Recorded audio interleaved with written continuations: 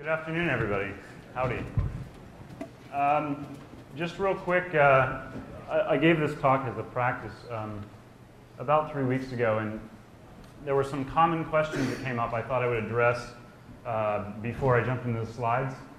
Um, real quick, my name is John. Um, I do not know what internal CTO means either, but I typically help organizations build security practices and I help them with uh, remediating their architectural problems.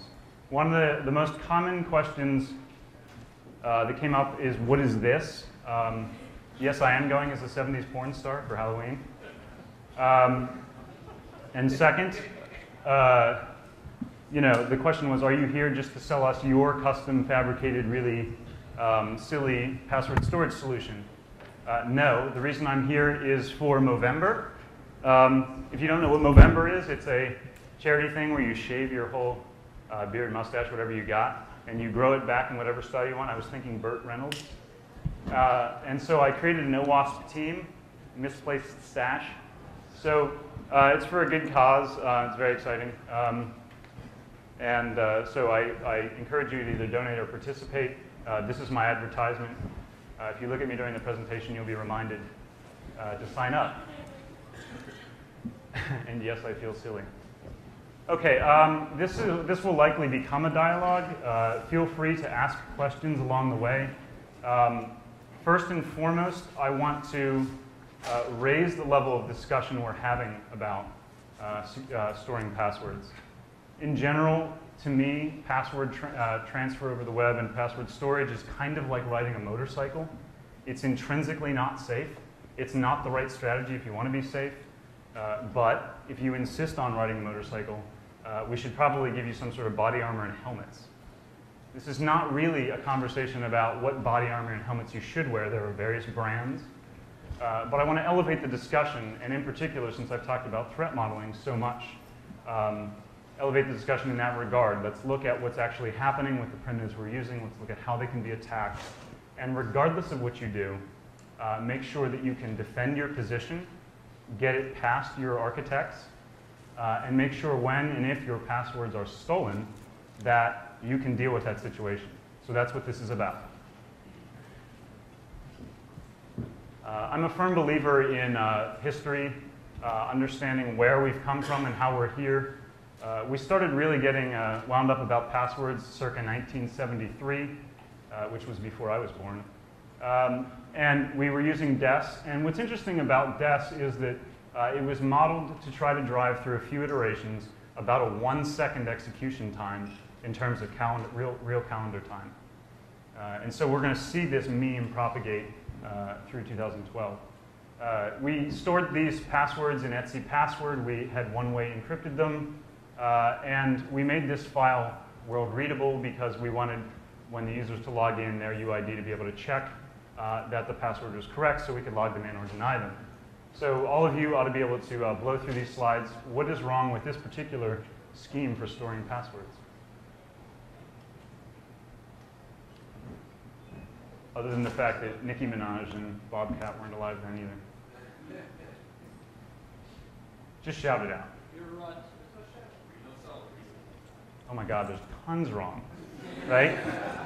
But if you look at if you look at my password hash, where else do you see it? Sorry, it's not a hash. It's root, and so what does that mean?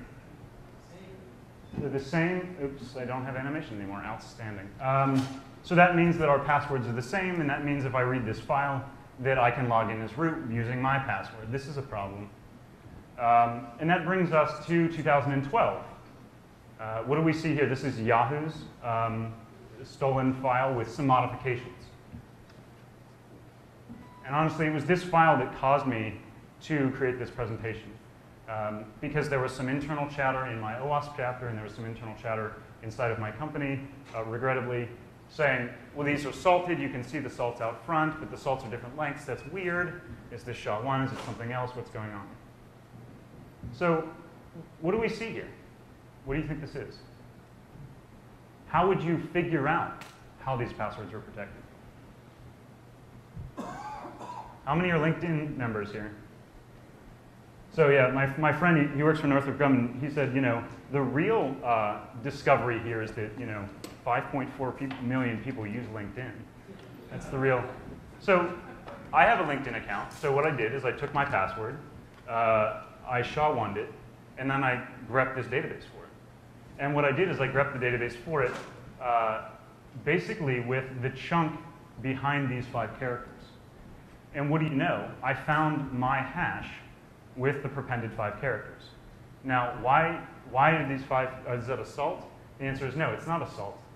But what it is, is the, the, the, um, the testers that broke this took the, the, uh, the weakest passwords, those that were the most easy to brute force, and prepended five zeros to them to protect the victim. So what that meant was that my password was very easily cracked, which it wasn't password, but uh, it was roughly similar. It should give you a feel for how much I value my LinkedIn account. Um, so this is what happens when you work for a company for 15 years. You don't apply for jobs very much. So um, in the news, LinkedIn, IEEE, Yahoo, it was fascinating. Uh, on my way to discuss this in my OWASP chapter, the Wall Street Journal called and was like, do you have any quotes for uh, the Yahoo hack? And I said, what? No, don't, don't. Uh, so it literally, every time I have talked on this topic, except for today, there has been a break. Um, and so, you know, to me, this kind of indicates that uh, your passwords will probably be extracted. Now, whether or not it's publicized, that's a different question. But I think when we architect our systems, we have to come to the conclusion that we need to be resilient against this kind of theft. Protecting ourselves and preventing it is probably going to be more challenging than we're, we're cut out for at the moment. So step one is, is try to, you know, try to protect better than these guys have. So don't be on the cover, you know, the cover of some magazine. And two, perhaps more importantly, uh, if your passwords are stolen, uh, make sure you have a great story um, that you can deflect this problem. Uh, so being who I am, I went uh, ultra sort of pedantic on this and created a 38-page threat model, which is a Google Doc, which is available to anyone in the OWASP domain. Uh, I broke it down into two different sections. Um, stealing and acquiring the database of passwords, and then breaking those passwords, uh, however they're protected, and reversing the actual credentials out of them. Uh, I ordered the attack vectors by difficulty. I created threats of various different types. T1 is the classic application security concern, the internet-based threats. There are victims, there are, there are hapless victims, victims, targeted victims. There are men in the middle, T2, and then there are insiders, T3. Um, this is terribly uninteresting. We're going to get to the, the meat of it. But uh, if you want, um, you know, Friday's coming up, you can get a, a, bottle of wine or a bottle of scotch, whatever your pleasure is, get these 38 pages and cry yourself to sleep. Um, the current industry practices really haven't changed that much since 73, to be honest. Uh, we've used different f of x, but the f of x's are very similar in nature to two forms.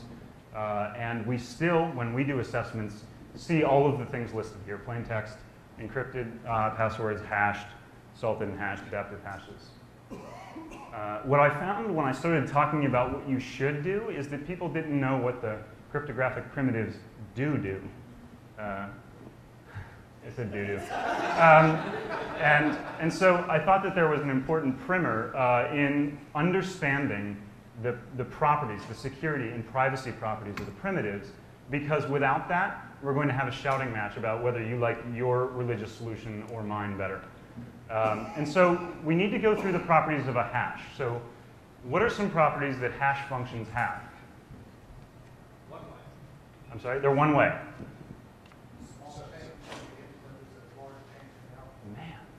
Diffusion is what that's called. Small changes in the input create large changes in the output, and that's the last thing on here because everyone forgets it.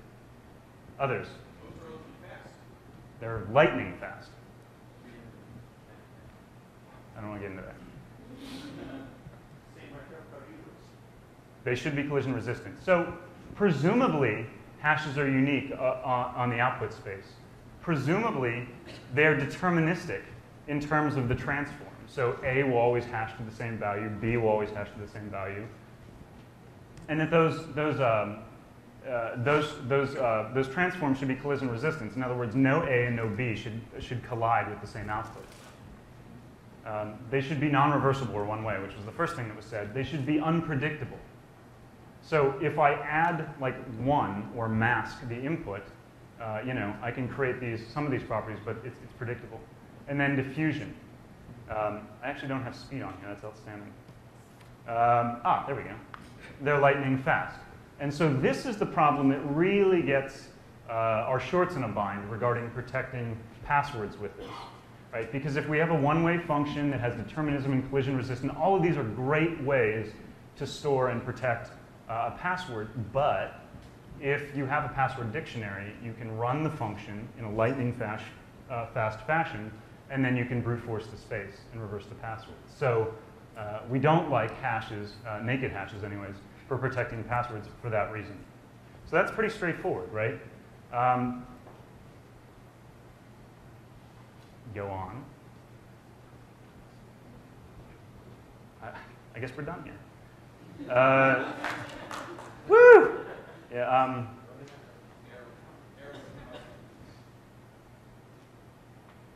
do the arrow the right way? Right. So is the solution just to use a better hash?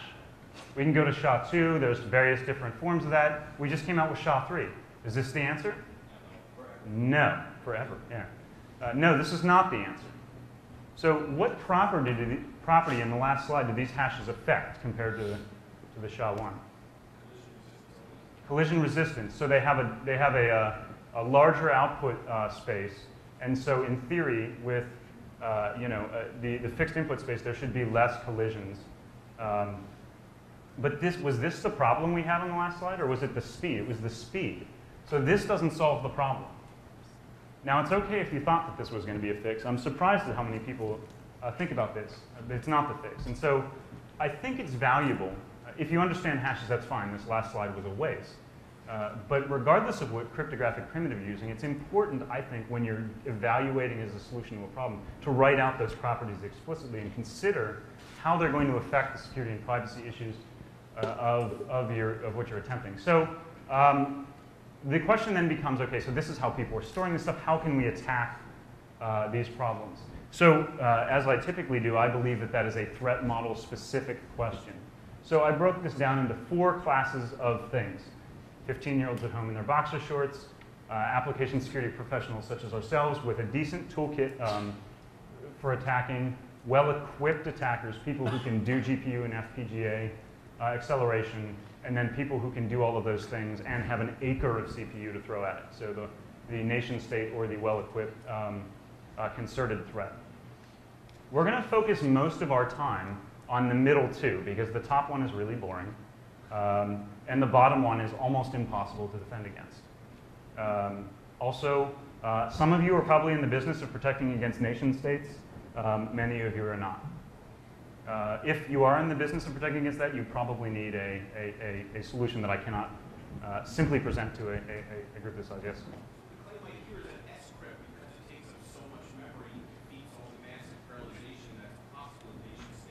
It is indeed the solution to all problems, and uh, last weekend I had it uh, actually tattooed on my left arm. So uh, that's later. I can only rip this once.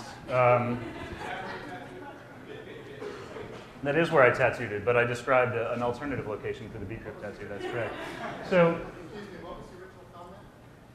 oh, what was the original guide? Doesn't scrypt solve all these problems because it's memory hard? It is also CPU hard, but uh, we will get to that. We will get to that in. Um, profound and gory uh, detail later.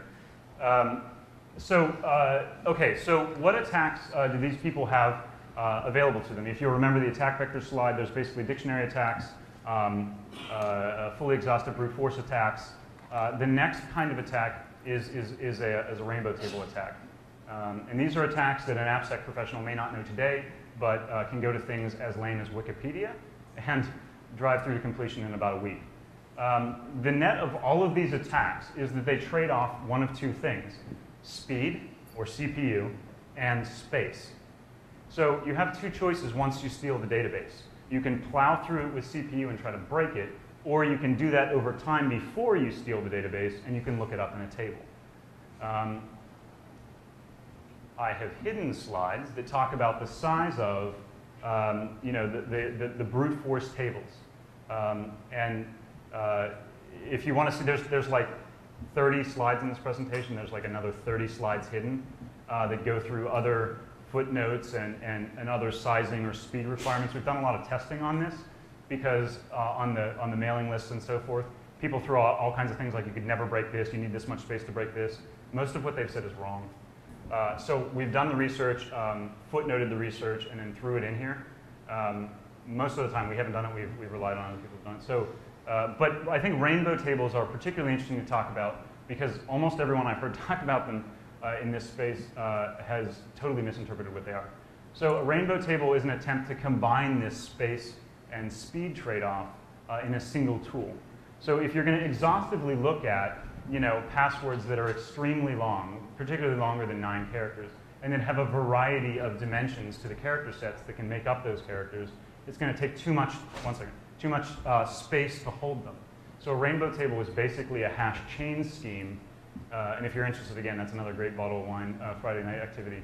Um, that basically allows you to chain the hashes together so that each um, uh, you know, you may have to try multiple times to get through a single chain, but you can save a lot of space in holding the whole table. And so the colorization of this is a little bit confusing, uh, but basically there are dictionary tables for particular operating systems and the protection schemes as operating systems use, and this describes the number uh, in terms of space that they require for each of the dimensions in each of the, um, the password lengths. I'm sorry, go ahead.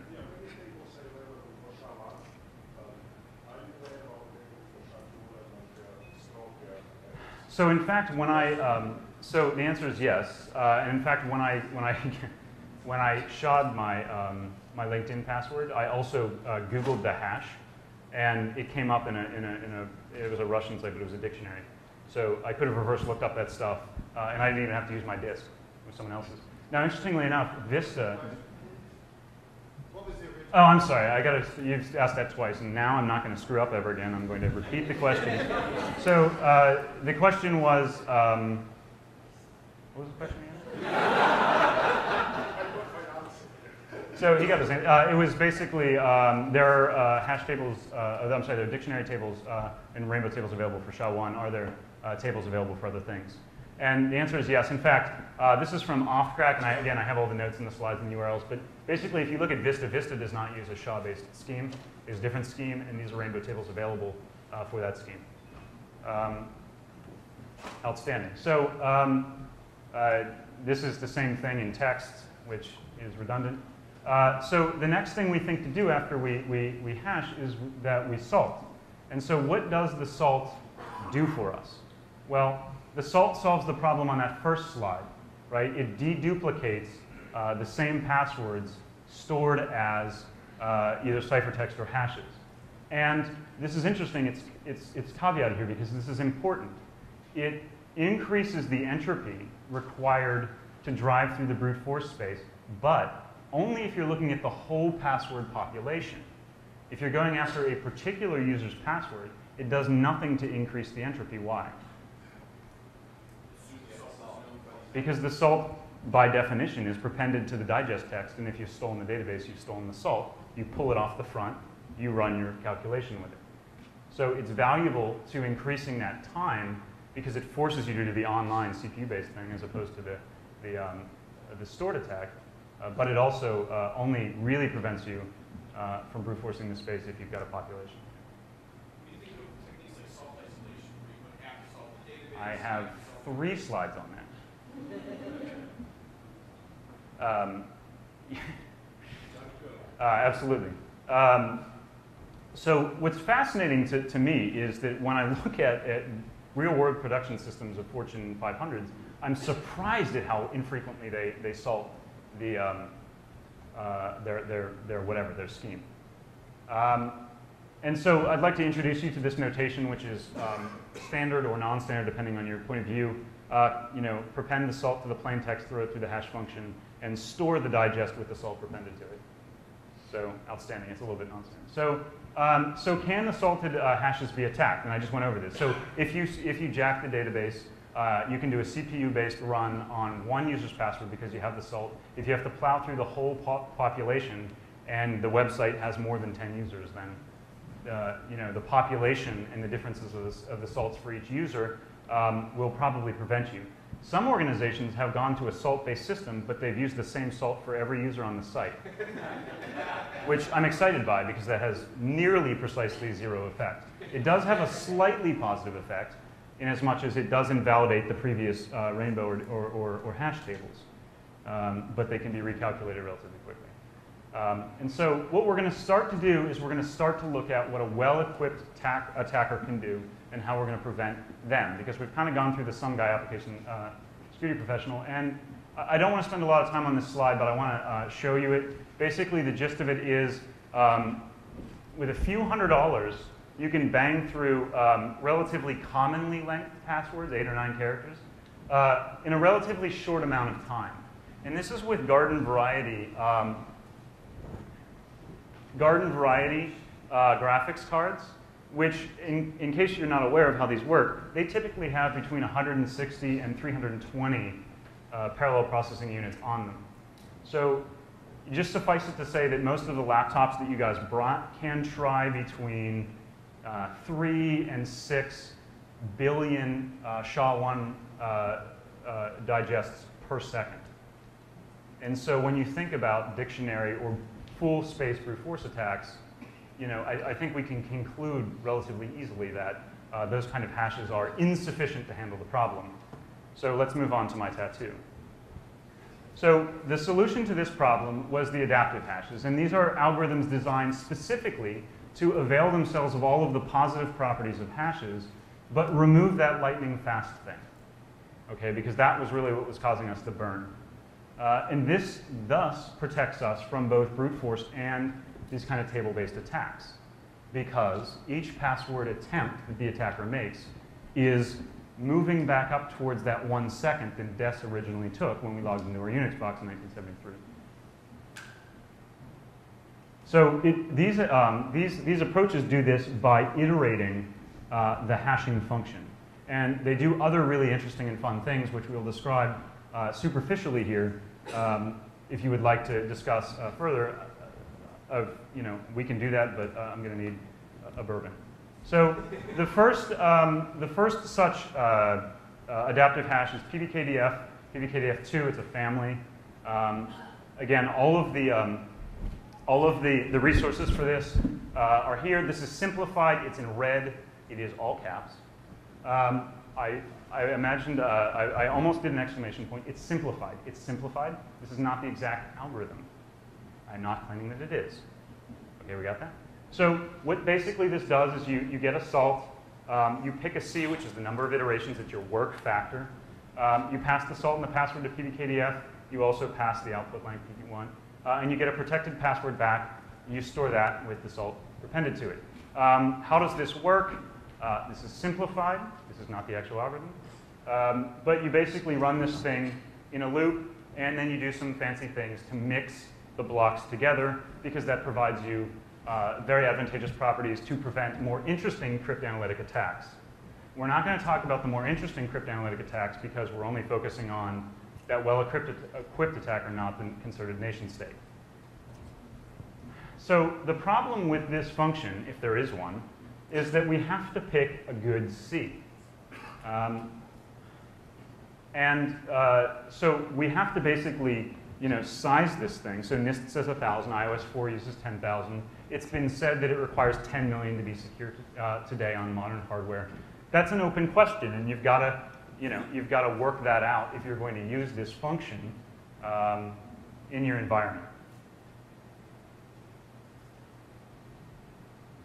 Um, okay, so there are positives and negatives to this, but we'll get to them later. The advantage to the, oh, one more thing to say about PBKDF before I move on to the other adaptive hashes. Um, the spec is slightly ambiguous on this, this, this, this topic. If you look at the body of the, of the spec, it says you can use any PRF. In this case, you see it's uh, SHA-HMAC. Um, in the appendix uh, of, of the spec, it says you can use any. So some people you will talk to about PBKDF say, well, you can, you can use SHA-2, and that makes it better, and they'll, they'll, they'll end up with a variety of arguments. If you use the JCE, it does in fact have a generic implementation, and then in the call to the function, it go ahead and checks this, the string to see if you're using uh, SHA-1, and if uh, you're not, then it throws an exception. Uh, so the reality is, regardless of the spec ambiguity, most implementations hard code SHA-1. Um, so that's that. So, um, how serious it is like long range measures is used in this muscle presentation? For example, thinking about JC, I didn't see SHA-2 badges available there. All they have is MD, MD, MD5 or something. They have, the SHA-1 is hard coded into Java 5 and beyond. So that's correct. So the question is, what is the effect of the security of using a low-grade hash uh, when you use the when you use these rounds? Um, and uh, presuming the, the answer is well, um, the answer for the concerted attacker is um, if you have a problem with the distribution and output, um, the diffusion property, uh, then you may be able to do uh, special interesting attacks. Um, most of these uh, functions that are implemented uh, prevent things like length, length extensions and, and things of that nature. Um, a lot of the security is coming from the C, the work factor. Um, so to the threat we're talking about, it's mostly just picking the right C. Um, that is not strictly speaking if you have someone who, who has some cryptanalytic capabilities. Um, I would push this onto the stack and we can talk about it afterwards because it is an interesting concern. Um, but we're going to move on for the sake of, of time and you can harass me about that. Absolutely. So if PBKDF is not the answer, then perhaps it's bcrypt. And there, there are many people who feel um, uh, immensely passionate, passionate about the use of bcrypt. Uh, bcrypt has a similar interface to PBKDF2, um, but under the hood it's very different. Whereas, this, whereas PBKDF is, is basically an iterated hash function, this is actually an encryption uh, with a, um, with a, uh, a CPU hard um, uh, key generation scheme. And so what you see is that um, what it does is it takes a, a sort of basically uh, a known plain text here at the bottom, uh, and it uses Blowfish to, uh, to a particular work factor expand a key, and then it encrypts um, that key, uh, I'm sorry, this known plain text with that derived key. One of the big differences, other than this structure, this is much more like DES in, in structure than the, than the hash-based PBKDF is. Uh, one of the, the differences in this is that the work factor in PBKDF is linear. The work factor in bcrypt is exponential. Um, so when you increase C, you get more bang for your proverbial buck. Uh, another interesting difference in bcrypt uh, from PBKDF is that it returns a structured output, which is interesting. It appends the work factor, the salt, and the digest together so you can store that. And there's tremendous value in doing this when you prepend the work factor to the, the digest, if the application server goes down, if the uh, developer is hit by um, a bus, if any number of things happen, you know how that thing was protected, and you can attempt to verify it later, um, even if that kind of, because that information is recorded here, whereas that is not the case here. So there's some argument as to whether or not, um, you know, this cost is enough at base. Um, or what the right cost is. This is certainly not supported by the JCE. That is a huge problem for my customers. And uh, another problem, oddly enough, is that they don't want to use blow, uh, blowfish either. Um, and so, you know, uh, you know, you got to download it from some guy's website. Um, and, and, you know, certain organizations don't want to stand for that. They want it in the JCE, uh, they want it supported and so on and so forth. Um, it does mostly uh, resist GPU uh, parallelization, though uh, that is falling apart, um, but slowly. Uh, but it certainly does not uh, resist FPGA uh, parallelization. Um, so a lot of the argument between bcrypt and PBKDF, honestly, because the, you can adjust the work factors to be equivalent, is basically the support you get in, in, your, in your either Java or .NET packages. So almost all of the pushback I've received from using bcrypt in, in, in production environments is, is the support. Uh, so if you don't have that problem, uh, this, this may be uh, you know, a lovely option for you. Um, scrypt uh, is, is, is bcrypt plus plus in as much as bcrypt plus plus uh, was, or uh, pbkdf plus plus was bcrypt. scrypt adds a few more factors. let's not talk about R, it's basically internal block size, but basically scrypt allows you to adjust the CPU hardness of the algorithm, but also the memory hardness of the algorithm. and we can talk about that afterwards if you're really interested. Uh, the scrypt paper is absolutely something you should attempt to read and understand. It is rather um, difficult as compared to the others. Um, this is a tragic oversimplification of it, but um, basically the gist of it is that it does really fancy things to set up a matrix and really mix the output of another adaptive hash, PBKDF2, uh, together and use a profoundly larger amount of memory. Um, if you know anything about GPUs, you can store it in the registers, you can store it in the local memory, which is about 32K, or you can go out to the PCI bus, uh, and that, that, is, that is just, you know, orders of magnitude slower. And so scrypt really succeeds in trumping both PBKDF and bcrypt uh, in terms of its ability to resist parallelization, to your question, Jim. Um, there's, there's a good paper on that. I have both of them listed in here as links and at the end. Um,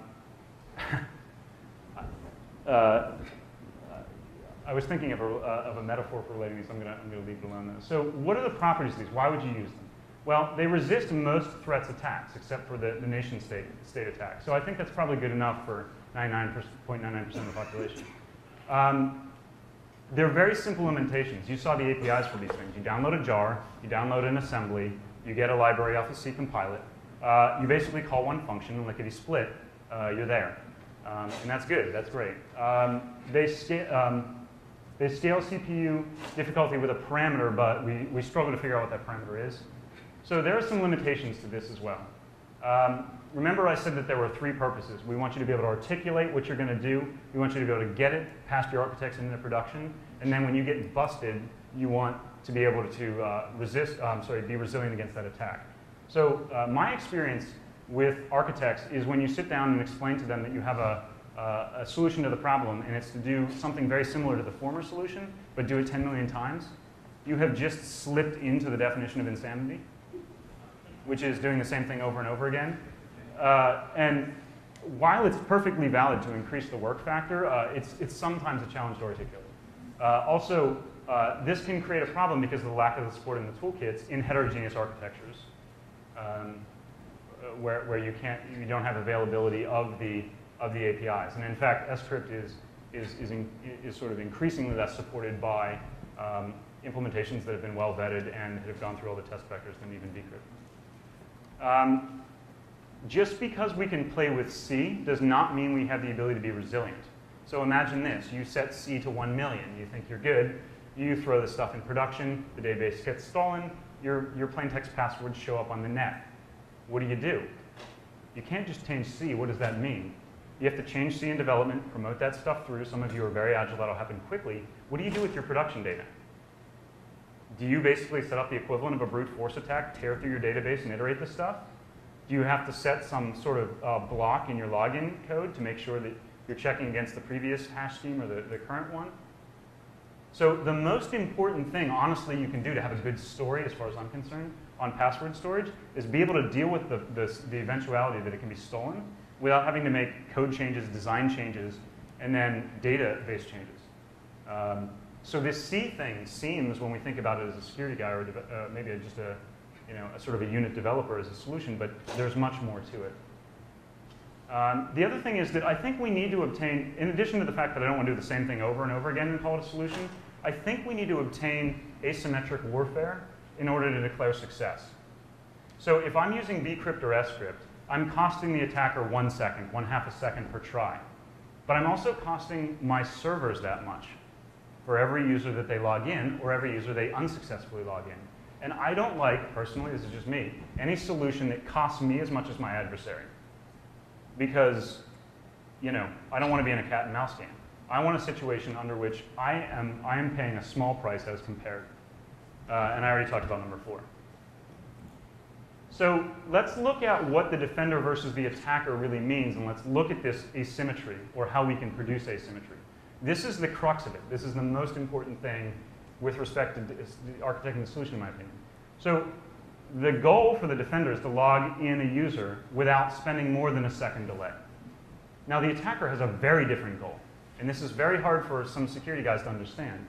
They may need to crack only one single password out of the whole database. So LinkedIn, uh, you know, these password databases were on the order of seven figures, small seven figures, two to five million. But they only need to crack one of them. Now, if you're going after a particular user, like the admins, then you may have a more difficult task. Um, or they may be trying to break 10 of them, like in the case of, of LinkedIn, to have a media event. But those are three very different average and worst case uh, break times. And so we have to think about that within our threat model as we compare the solutions. Uh, and the solutions will, in fact, compare very differently based on those objectives. So the, the, the, way that that scales is based on rate and burden. So one of the clients I'm working with has 55 million users, 20 million active users at any time, 2 million active login attempts successful per hour. So that isn't a lot or a little, but it's what they have to support.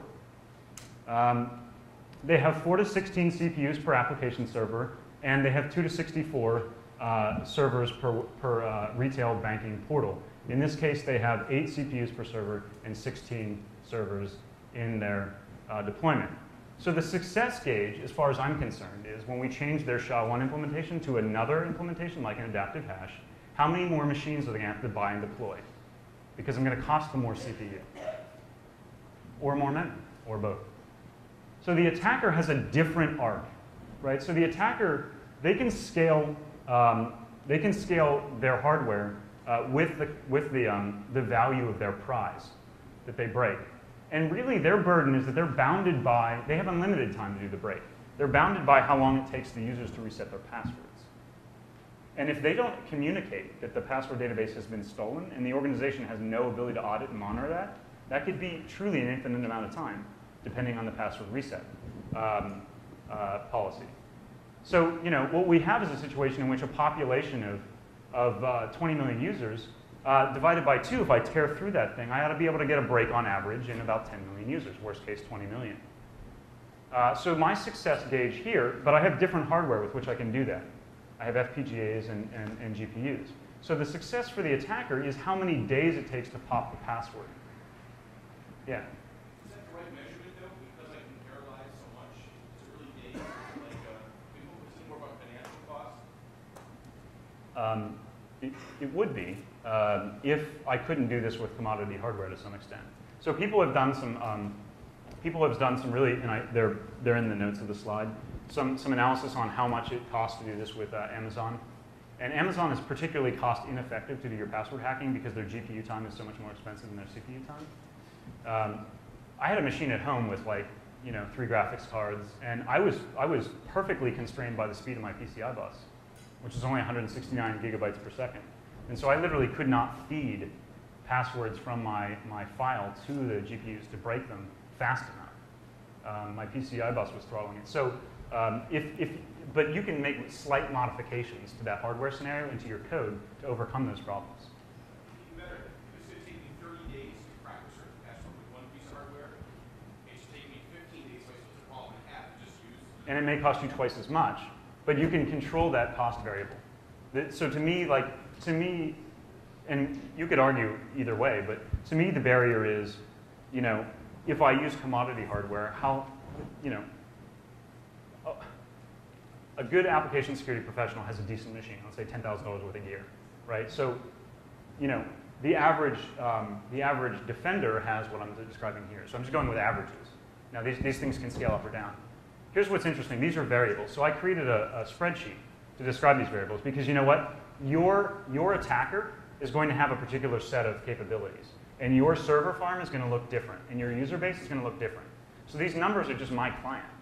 Okay, so uh, your numbers will be different. So I thought, well, the best thing to do is create a spreadsheet and give you guys the spreadsheet, and you can run the numbers. And you can set those values equal to whatever you want. I don't care. So what I did was I thought, let's go back to 1973. So let's target this thing for one second. Okay, and I, I put all of those factors on the previous slide in, and this is totally fascinating. So we can argue about whether or not I can do a bcrypt round in, you know, a tenth of a second or, you know, the bottom line is that I can do it about twice as fast uh, on a GPU as I can do it on a CPU. So I worked that work factor into the 10 million population and the average thing. And so what I came up with a graph of both of these things, the attacker and the defender. And what I found was at one second per bcrypt uh, login, uh, it would take 35 machines uh, not 8 or 16, uh, to accomplish login at full CPU load, which of course these authentication machines are doing other things. So I'm a bit concerned about that. I'm, I'm really asking them to make a big change to their production environment and really scale that up. What's interesting about this is that the same one second for the attacker with this commodity hardware, 2x on the GPU, again, home-based systems, is, six, is less than 60 days. So, so Jim is a baseline with commodity hardware. The inflection point is interesting. At a second, you have, I got to buy 32, you know, I got to buy 24 more machines for my customer, go through burn-in, that's three months, by the way. Uh, go through testing, that's another three months. I'm six months away and 24 more machines away from the solution, and three months, six months, the attacker is 55 days away, right? So I have not achieved asymmetric warfare, and I have made no onerous assumptions in making this trade-off. You can make as onerous or as, as aggressive assumptions as you want in this spreadsheet. So I don't like these adaptive solutions naked because I don't think they provide asymmetric warfare, and I think they have a particular problem, that iteration count, that, again, naked uh, on its own, is going to cause me with my, my architects. If you're using bcrypt or scrypt or PBKDF2, that's fine. You need a good story to explain it to your organization. Um, I'm not against them. I'm not for them. I just work here. Um, yeah. I do see, I do see a lot of organizations moving to bcrypt because a lot of people recommending it, and I find out that they're using a work factor of one. or a Very common. This is a work factor one. But remember, the work factor is baked into this calculation symmetrically. So if you change the work factor to 10, both of these numbers are going to go up. And so what you have is it's going to take 1.4 seconds to log in, which means you're going to need 45 machines. And what you see is that you go to 1.4 and it's going to take 70 days. So it's, it's baked into the calculation. Pick, pick what you want. I mean, smoke your own. So um, I think that there's, uh, we can go back to threat modeling and we can go back to security architecture, which is the, uh, uh, my favorite saw. And we can start to use other properties to come up with different solutions. Uh, are the solutions better? Actually, they're kind of in an equivalence class, but they have different properties from an architecture and from a maintenance perspective. Let's look at defense in depth, let's look at compartmentalization, and let's look at separation of privilege. Uh, I believe that adaptive hashes are the best uh, to strengthen the system with a single control. I want to pause on that because people often say I just bashed them. Uh, but I think we can do better with defense in depth. So we can use something like an HMAC. Now, what is the difference between a hash and an HMAC? It requires a key, which is going to, if we protect that key, presumably, um, you know, talk to the identity of the person who computed the hash. Um, you're allowed to, uh, you're allowed to heckle me, but other people have to give me solution answers. Wow, there you go. So, I was gonna say you're not, you're not really trying out for the, uh, thank you, uh, for, the, the big leagues with that one. Okay, so right, um, you know, the motivation for using something like that is it does inherit the hash properties. The best hash property that HMACs inherit is the lightning speed. So we're getting the advantage back on the, attack, uh, the defender side. Um, outstanding. So, uh, but uh, it resists the threat's attacks because it provides this additional search space uh, in, the, in, the, in the key, which is additional entropy uh, to someone brute forcing a single password or the population. Um, here's, the, here's, the, here's the other advantage. It requires you to pull stuff out of the database, and it requires you to pull stuff out of the application server. So now I'm forcing them to attack the database to pull the passwords and attack the key store. So are we done? We can just go home. This is easy. Just do this, right? Well, there are trade-offs. Protecting the key material really challenges developers. I can't really say that I've gone to an organization and be like, you know what, you got key management down, and so we're out. In fact, one of the things that, uh, that, that, that, Tom, uh, last time I gave this presentation, said was the best, the most common place for the developer to store the, the key is in the database, at which point the compartmentalization has collapsed and I've got nothing yet. What, what about network HSMs? What about network, network HSMs? So. I think there's a role for the, that kind of, what about network HSMs? I think there's a role for products like HSMs to play in helping developers uh, protect keys. Uh, I'm pumped about HSMs uh, because anytime I can explain to the architect that there's a security product that they can buy to help with the solution, I tend to grease the wheels, even though I'm not a product guy. Um, and that's slightly, uh, Doesn't that just push the problem, once you have to have a key to get the HSM? So it does push the problem, uh, and it pushes it in, in really annoying ways. uh, the way that we usually describe this is it's turtles all the way down, right? At some point, you've got to trust something. If you're storing the key in an HSM, there's a way you connect and authenticate to that, so you've got to, you know, protect that, uh, that credential. Uh, and, and I like the fact that I'm storing my um, passwords in the database, and I like that I'm storing something in the application server for the following reason principally. Because a SQL injection or a backup or a tape-based attack on the database is fundamentally different than a break of the host, the key store, the HSM, or an RMI injection on the app server. And to my knowledge, I'm one of the few people that can actually pop RMI code in a remote machine, so I'm pretty happy with that solution. Um, but there's tons of ways to, to screw it up by putting the key in the database, by putting the thing in an HSM and sticking the, the key in the code and having it popped out with an exception or any number of things. This is not a panacea. It's a way to invoke defense in depth and compartmentalize. Um, I don't like this solution naked either, let's be clear. Uh, but if you were going to implement this solution, I think it's a good solution to implement if you're rolling with like a Java 4 or Java 5 environment and you need to use only FIPS certified primitives. Because the Java 5 environment doesn't even have PBKDF2. If you're not allowed to download and, and, and validate other jars, like Bouncy Castle was mentioned, you may be stuck with a solution like this because your policy states you can use nothing else. Uh, you still have to get other things right, and so on and so forth. So the question, Manica, was can't we just split the digest, or put another way, isn't just splitting the digest in two morally equivalent, quote unquote, to using an HMAC? Yes or no? Have I set the question up too obviously? No one voted. so the answer is no, they're not the same. Um, you know, and remember the first example, right? I was able to discern that this was SHA-1. I was able to discern the scheme and find my password, even though they zeroed out the first five. This problem of diffusion is a mother, right, for these schemes. Diffusion means that a small change in the input makes a large change in the output, which means that the collisions on even a half, half hash are in fact incredibly unique.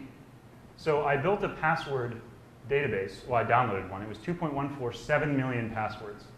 Uh, they were all, all character sets, so uh, alphanumeric, um, caps, lowercase, uh, and symbols. Uh, and then I split the digest in two. Well, why didn't you split the first bit off and leave the rest? Well, because two is the worst case scenario. And then I ran, um, uh, I ran uh, basically a collision check on that database, salted individually and uniquely, and I came up with no collisions on PBKDF2, salted with a with a um, uh, an eight byte salt, uh, and I was able to crack these things at you know hundreds a second. Um, and so I have a slide in the back where I, uh, if you want to get very excited about it, I have a slide in the back where uh, my test data exists. You can download my code, um, and you can try this on your own if you're if you're into it. Again, very exciting way to spend a Friday night. Um, and so unfortunately, that solution is not really going to work for us very well. Um, and, and that's kind of interesting, right? I've seen a lot of security guys talk about this.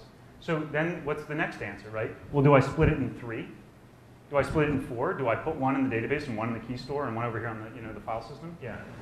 So I, I'm not sure if I understand that. Are you saying because you split the hash in half, that because it's so diffuse, even with just half, you were able to successfully. When you brute force it, only compare half.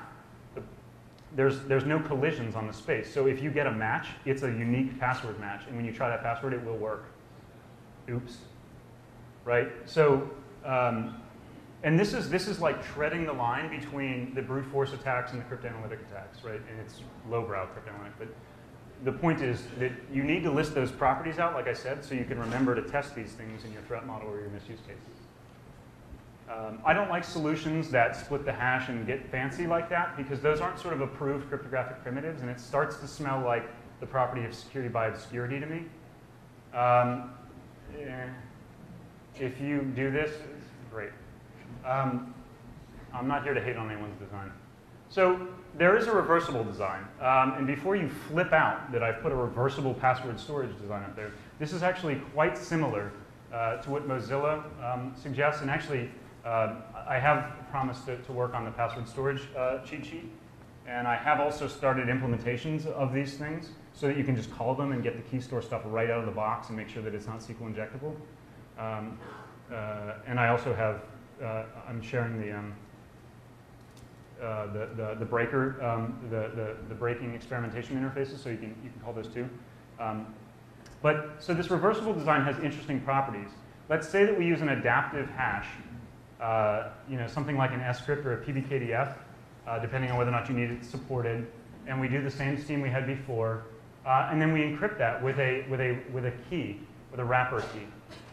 So this provides us a different um, set of properties, and we still separate them into where they're storing them, so we have something here and something here. So this provides, um, this inherits all of the benefits of the previous solution, and it adds the adaptive hash slowness. This means that uh, this, this has a few positive benefits. Um, it still requires two kinds of attacks. It still requires the brute force, which is out of reach. And what's neat about this is if someone just steals the key out of your application server, because this scheme was reversible, you can just rotate that key. You can't do that with simply an adaptive hash uh, because you'd have to interact with the user. If someone steals the database and the key, they still have to brute force through the adaptive hash. Unfortunately, there are a lot of limitations to this. They're very similar to the previous limitations. You've got to get the key storage correct. Uh, you have to separate the, the, the, the items, otherwise um, the internal threat can still bust you. Um, and quite frankly, this takes us from asymmetric warfare back similarly to symmetric.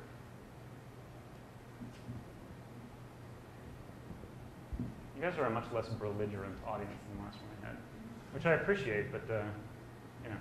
Okay, so the most important thing I think we can do, rather than talk about particular schemes, is talk about uh, how we're going to deal with the operational impacts of these things. I talked about C. Uh, so step one is we need a way in our design to protect the user's account. So if my database or if my keys are stolen, I need a way to block login uh, and delete all of the shortcuts associated with login um, so that I can basically deal with the fact that some of my passwords are eventually going to be compromised. This may mean some sites like Facebook or your, your bank site may associate fingerprints with your machine, trust this machine, whatever, right? So I'm going to want to strip all of those shortcuts to log in away if my password database has been, has been yanked. A lot of systems have those shortcuts, but no way to revoke them.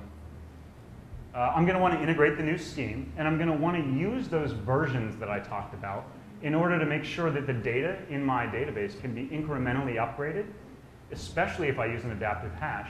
Because of those 20 million users, they're all active, but I have 30 million other users that are database that are inactive. They may not log in for two years. If I have to tear through all 50 and do an online fix, I'm basically subject to the constraints of the brute force attack that the attacker has to do. So I do it incrementally, so I need a way to version what's been updated and what hasn't. Uh, this is actually a really clever trick um, that could augment the existing Mozilla guidance and improve it. Uh, if you use only a one-way scheme, one of the ways you can update the databases it's stored is basically to wrap that scheme in another either keyed hash or adaptive hash. So if you use SHA-1 right now, one thing you can do is just decrypt it and make sure that you get the version in the salt different and correct so you can differentiate the, uh, the digest texts. Uh, now, this does not help you prevent the brute force attack because wrapping an encrypted, a weakly encrypted thing with a strongly encrypted thing doesn't help when the weakly encrypted thing has already been stolen and someone's brute forcing it. But it is something you can start to say, well, we've updated our scheme and we've asked our users to reset their passwords. And so if this happens again, I feel like I have a better story. Aha, when the user logs in, I'm going to need them to uh, change their password, but because the passwords are compromised, I'm going to have to apply additional uh, checks to make sure that it's the user I'm talking, I think I'm talking to. That may be uh, out of band uh, you know, exchange with their cell phone, it may be secret questions and answers, it may be so on and so forth. Uh, so just nailing this checklist of things I think is really important. And in fact, like I said, most systems would be hard pressed to implement these things uh, in retrospect from where they currently are. Competing with a band now? Okay, so um, there's a ton more content in, uh, in, this, uh, in this presentation. Uh, there's a ton more interesting, uh, you know, uh, gotchas and, and tricks underneath the hood. There's a ton more slides um, talking about the specifics, but I did want to keep it to an hour.